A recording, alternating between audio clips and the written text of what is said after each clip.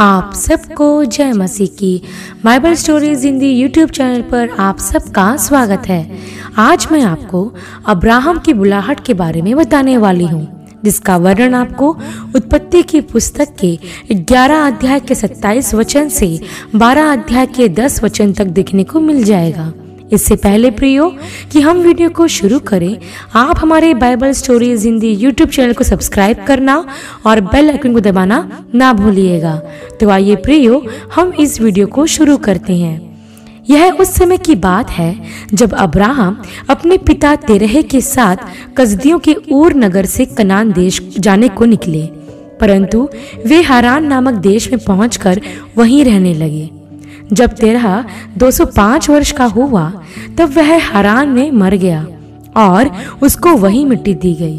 तब परमेश्वर ने अब्राहम से कहा कि अपने देश और अपने कुटुंबियों और अपने पिता के घर को छोड़कर उस देश में चला जा, जो मैं तुझे दिखाऊँगा और मैं तुझसे एक बड़ी जाति बनाऊँगा और तुझे आशीष दूँगा और तेरा नाम महान करूँगा और तू आशीष का मूल होगा। जो तुझे आशीर्वाद दे, उन्हें मैं आशीष दूँगा, और जो तुझे कोसे उसे मैं शाप दूँगा, और भूमंडल के सारे कुल तेरे द्वारा आशीष पाएँगे। प्रियो, यहाँ मैं आपको कुछ महत्वपूर्ण बातें बताना चाहती हूँ। सबसे पहले तो यह ध्यान दें कि अब्राहम अपने पिता तेरह के साथ कजदियों के ऊर देश से कलान जाने को निकला। अर्थात, जब अब्राहम ऊर देश से निकला तो वे कनान जाने वाले थे। लेकिन, जब वे हारान देश में आए तो वे वहीं बस गए। अब गौर कीजिए प्रियो, कि वे कनान देश जाने के लिए ही निकले थे, लेकिन हरान में ही बस गए। उससे आगे नहीं बढ़े। क्यों? क्योंकि अब्राहम अपने पिता के घराने के साथ था, और उसका पिता कनान जाने के बजाय हरान में ही रहने लगा। अपने पिता के कारण अब्राहम भी कनान की अपनी यात्रा में आगे नहीं बढ़ सका। प्रियो, जब भी आप परमेश्वर की इच्छा से आगे बढ़ने की कोशिश करेंगे तो ऐसा करने से रोकने वाले सबसे पहले आपके कुटुंबी ही होंगे। वो आपके माता पिता भाई बहन या आपके पति या पत्नी तथा बच्चे भी हो सकते हैं। हो सकता है कि आप प्रभु के पीछे चलना चाहते हो, लेकिन आपके परिवार वाले कह सकते हैं कि नहीं। इसलिए जब परमेश्वर ने देखा कि अब्राहम अपने कुटुंबियों के साथ हरान देश में आकर बस गया है, तब परमेश्वर ने उससे कहा कि अपने देश और अपने कुटुंबियों और अपने पिता के घर को छोड़कर उस देश में जा, जो मैं तुझे दिखाऊँगा। प्रियो, जब परमेश्वर ने अब्राहम को बुलाया, तब वह पचहत्तर वर्ष का था। और परमेश्वर ने उससे कहा कि अपने सारे रिश्तेदारों को छोड़कर उस देश में चला जा, जो मैं तुझे दिखाऊँगा। यह अब्राहम की पहली परीक्षा थी, जिसमें वह सफल हुआ, क्योंकि वह अपने सारे रिश्तेदारों को छोड़कर उस देश की ओर निकल गया, जिसके बारे में वह कुछ भी नहीं जानता था। प्रियो, अपने पिता के घराने को छोड़ना, अपने भाई बहनों और रिश्तेदारों के साथ संबंध तोड़ना आसान नहीं होता है। अपने प्रिय लोगों को छोड़कर एक अनजान देश में चले जाना यह कोई मामूली बात नहीं है। लेकिन अब्राहम परमेश्वर पर विश्वास रखकर अनजाने देश की ओर चल पड़ा। और यही हम अब्राहम के दृढ़ विश्वास को देखते हैं, जो उसने जीवित परमेश्वर पर रखा था। और इसलिए उसे विश्वास का पिता भी कहा जाता है। प्रियो, उदाहरण के रूप में हम एक नवजात शिशु को देखते हैं जब वह माता के गर्भ से बाहर आता है तो वह माता के अवनाल से जुड़ा हुआ होता है। और जब तक वह काटी नहीं जाती, तब तक वह अपनी माता से अलग नहीं होता। ठीक उसी तरह प्रियो, जब तक हम उस डोर को नहीं काटते, जो हमें हमारे रिश्तेदारों से जुड़े रखती है, तब तक हम प्रभु यीशु के चेले नहीं हो सकते। इसलिए प्रभु ने लुका के सुसमाचार और उसके चौदह अध्याय के छब्बीस वचन में कहा है कि यदि कोई मेरे पास आए और अपने पिता और अपनी माता और पत्नी और बच्चों तथा अपने भाई बहनों, वरन अपने प्राण को भी अप्रिय ना जाने तो वह मेरा चेला नहीं हो सकता। और अब्राहम ने परमेश्वर के लिए अपने सारे रिश्ते नातों को अप्रिय जाना तथा परमेश्वर के पीछे हो लिया। अब आप यह सोच रहे होंगे, क्या हमें अपने माता पिता भाई बहनों तथा रिश्तेदारों को पूरी तरह से त्याग देना चाहिए? तो मैं आपको बता दूँ, प्रियो, कि प्रभु के कहने का मतलब यह बिल्कुल नहीं था कि आप अपने परिवार को पूरी तरह त्याग दें। परंतु प्रभु यह कहना चाहते हैं कि हम प्रभु से ज़्यादा और किसी रिश्ते से ज़्यादा प्यार ना करें। आपका पहला प्यार सिर्फ़ प्रभु ही रहना चाहिए। और प्रभु से ज़्यादा हमें किसी को प्रिय नहीं जानना है।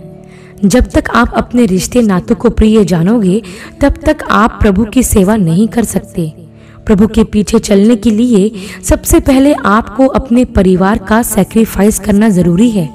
तभी आप प्रभु के पीछे चल सकते हैं। बिना त्याग के हम कभी भी प्रभु के पीछे नहीं चल सकते। तब हम आगे देखते हैं, प्रियो कि यहोवा के वचन के अनुसार अब्राहम चला और लूत भी उसके संग चला। जब वह हरान देश से निकला था, उस समय वह पचहत्तर वर्ष का था। इस तरह अब्राहम अपनी पत्नी सारा और अपने भतीजे लूत को और जो धन उन्होंने इकट्ठा किया था और जो प्राणी उन्होंने हारान में प्राप्त किए थे, सबको लेकर कनान देश जाने को निकला और वे कनान देश में आ गए। और शकेम में मोरे के बांझ वृक्षों के पास पहुँचे। उस समय उस देश में कनानी लोग रहते थे। तब यहोवा ने अब्राहम को दर्शन देकर कहा, यह देश मैं तेरे वंश को दूँगा। तब अब्राहम ने वहाँ यहोवा के लिए वेदी बनाई। फिर वह वहाँ से आगे बढ़कर उस पहाड़ पर आया, जो बेतल के पूर्व की ओर है, और अपना तंबू उस स्थान में खड़ा किया। जिसके पश्चिम की ओर तो बेतेल है और पूर्व की ओर आई है। वहाँ भी उसने यहोवा के लिए एक वेदी बनाई और यहोवा से प्रार्थना की।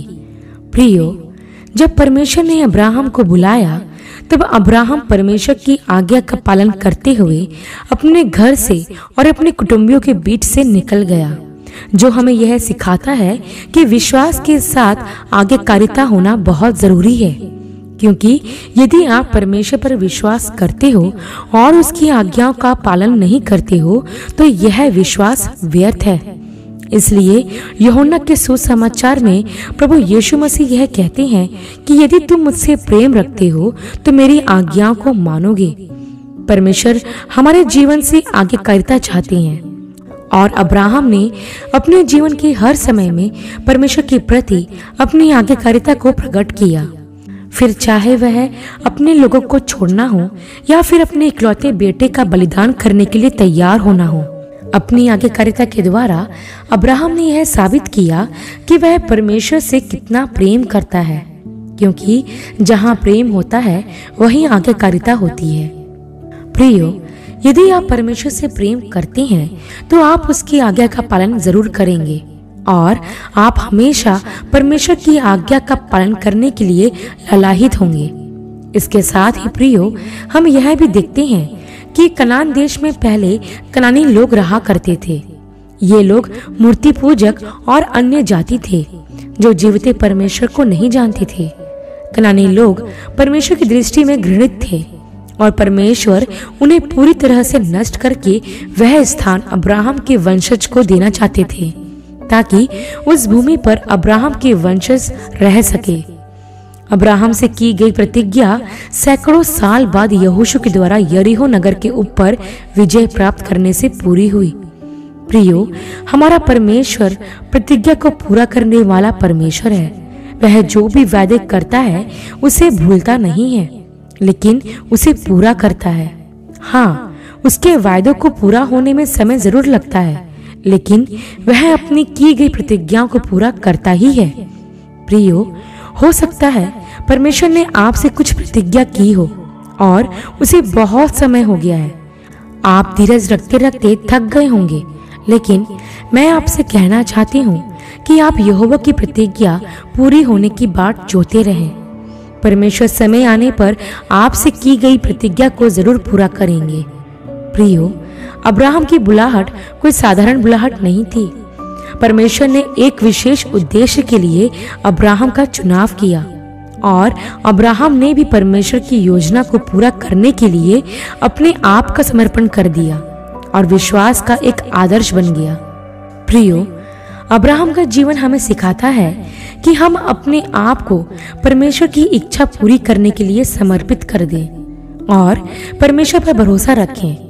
क्योंकि परमेश्वर ने हमें इस संसार से अलग इसलिए किया है ताकि हम दूसरे लोगों के लिए आशीष का कारण बने। वैसे ही, जैसा परमेश्वर ने अब्राहम को बुलाया और उससे कहा कि पृथ्वी के सारे कुल तेरे द्वारा आशीष पाएँगे। हाँ प्रियो, अब्राहम की तरह हम भी जाति जाति के लोगों के लिए आशीष का कारण होने के लिए बुलाए गए हैं। हमारा विश्वास और हमारी आज्ञाकारिता न सिर्फ़ हमारे लिए, बल्कि दूसरों के लिए भी आशीषित होती है। आशा करती हूँ प्रियो, अब्राहम की बुलाहट का संक्षिप्त विवरण आप सब के लिए आशीषमय रहा होगा। अगले वीडियो में एक नए विषय के साथ आपसे फिर मुलाकात होगी। तब तक के लिए आप सबको जय मसीह की।